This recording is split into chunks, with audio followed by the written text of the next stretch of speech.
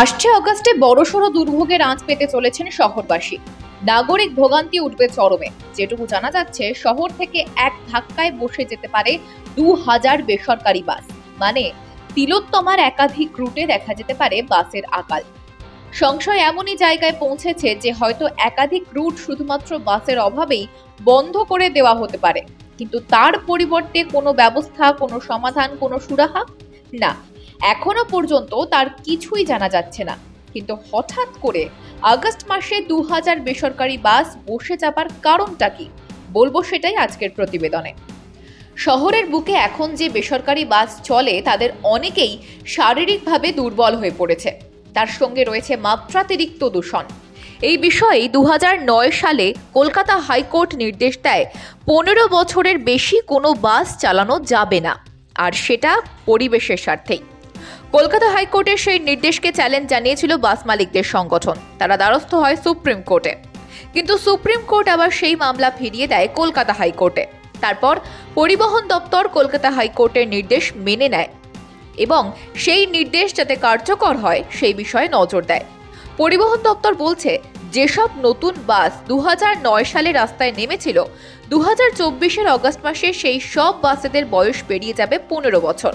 মানে সেই বাসগুলো পরিবেশের স্বার্থে আর চালানো যাবে না। ফলে বাস যদি বসিয়ে দিতেই হয়, তাহলে শহর জুড়ে দেখা যেতে পারে বাসের আকাল। ফলে নিত্যযাত্রীদের দুর্ভোগ পৌঁছতে পারে চরমে।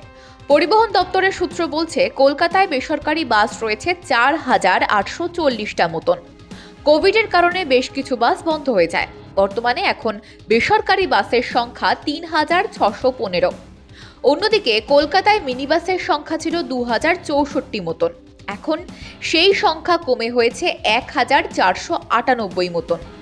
এবার যে কটি বেসরকারি বাস এবং মিনি বাস বর্তমানে রাস্তায় চলছে, তার মধ্যে দু হাজার বাসের বয়স পনেরো হাজার।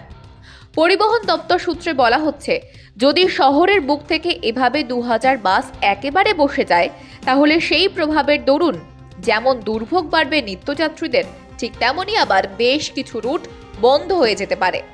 তার মধ্যে যেমন কদমতলা ধর্মতলা, বোটানিক্যাল গার্ডেন ধর্মতলার মতো একাধিক রুট কার্যত বাস শূন্য হয়ে যেতে পারে। ফলে একটা খুব বড় সড়ো ফাঁক তৈরি হবে যাত্রী পরিবহনের ক্ষেত্রে। কিন্তু অদ্ভুত ব্যাপার হচ্ছে, বহু মালিক আবার নতুন করে বাস কেনার ব্যাপারে নাকি তেমন আগ্রহই দেখাচ্ছেন না। সব মিলিয়ে যা বোঝা যাচ্ছে, যদি আসছে অগাস্টে এভাবেই দু হাজার বাস তুলে নেওয়া হয়, তাহলে কলকাতার বুকে নিত্যযাত্রীদের দুর্ভোগ পৌঁছবে চরমে। তখন সেই দুর্ভোগ ঠেকাতে পরিবহন দপ্তর কি ব্যবস্থা নেবে সেই বিষয়ে এখনও কিছুই জানা যায়নি। দেখতে থাকুন বিজনেস প্রাইম নিউজ জীবন হোক, অর্থবহ।